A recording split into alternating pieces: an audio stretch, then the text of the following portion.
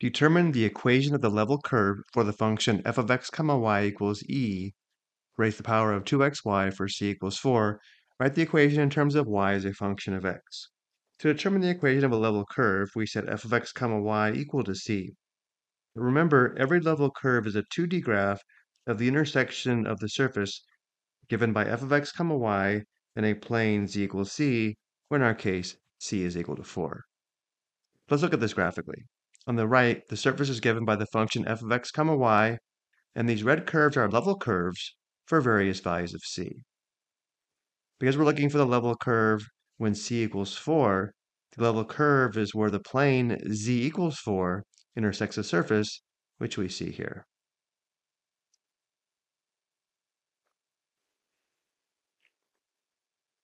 And now let's go back and determine the equation. Again, to determine the equation, we set f of x comma y equal to c, which gives us the equation e raised to the power of 2xy equals 4.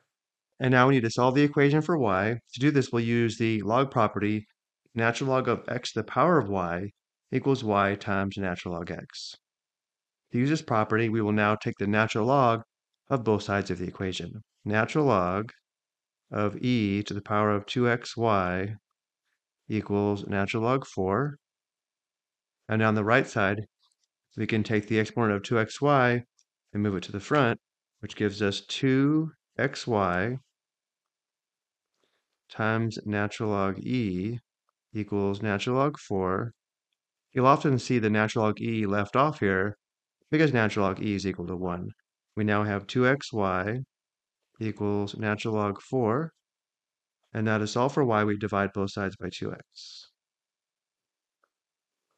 Simplifying, we now have y as a function of x. We have y equals natural log 4 divided by 2x.